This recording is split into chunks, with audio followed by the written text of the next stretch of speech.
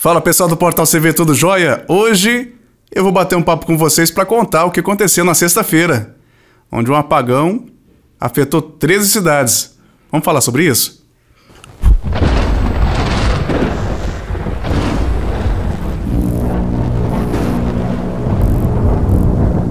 Olá pessoal, por aqui Johnny Peter do Portal CV e hoje vamos falar desse apagão que aconteceu aqui na cidade. Era sexta-feira, dia 15 de outubro, por volta das 5h15, 5h16, acabou a energia. Ficamos sabendo que 13 cidades foram afetadas e por volta das 19 horas a CEMIG já solta um comunicado do que havia acontecido.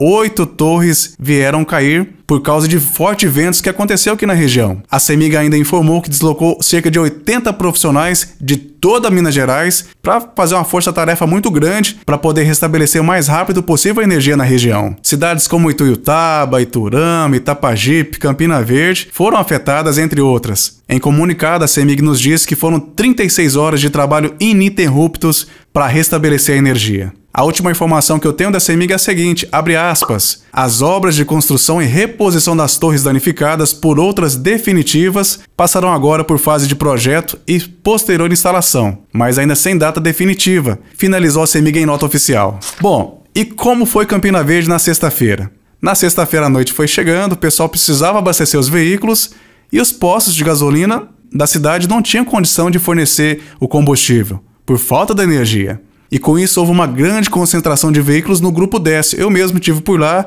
a fila era muito enorme, mas o atendimento foi rápido e muito prestativo. Pessoal, o que acontece é que a gente da imprensa acaba que fica sabendo dos bastidores o que as empresas fazem e nem sempre divulgam. A Algar Telecom, por exemplo, rapidamente deslocou para a cidade um gerador para garantir o serviço de telefonia e internet na cidade. E eu fiquei sabendo que a Algar Telecom entrou em contato com o nosso hospital da cidade para perguntar se eles tinham ali um gerador de energia, para verificar também como é que estavam as linhas telefônicas. E outras empresas da cidade prestaram um trabalho muito bacana para a comunidade. Eu sei que muitos deles não divulgam o que fazem, mas eu por aqui me vejo na obrigação de contar para vocês o que aconteceu. A Casa Mana, por exemplo, disponibilizou suas câmeras frias para sorveteria e ali guardou vários freezers. Também fiquei sabendo que lá na Casa Mana foi armazenado merendas das crianças vinda da prefeitura municipal. Ação semelhante o Dumbo também fez. Usou suas câmeras frias, tendo em vista que esses supermercados têm gerador próprio de energia. A TMC também fiquei sabendo que disponibilizou a prefeitura municipal para a Secretaria Municipal de Saúde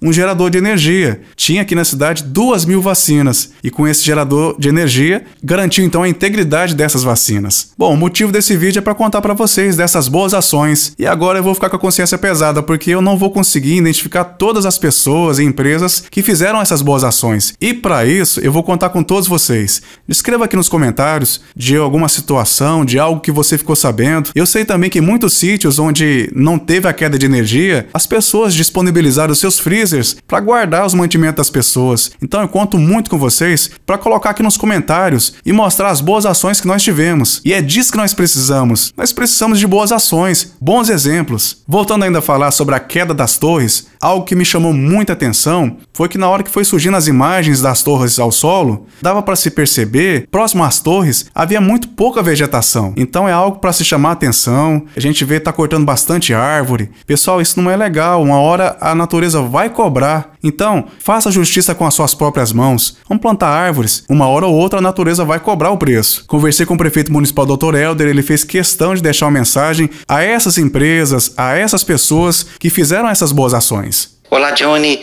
Aqui quem fala é o Dr. Helder, prefeito municipal. É, queria aproveitar o espaço e dar os parabéns a todos que de alguma maneira pôde ajudar o próximo nesse momento tão difícil. Mensagem do prefeito municipal. Pessoal, então fica por aqui esse vídeo. É para parabenizar as pessoas que em um momento muito difícil pôde ajudar a comunidade e que essas ações sirvam de inspiração para outras pessoas. Forte abraço a todos e até um próximo vídeo.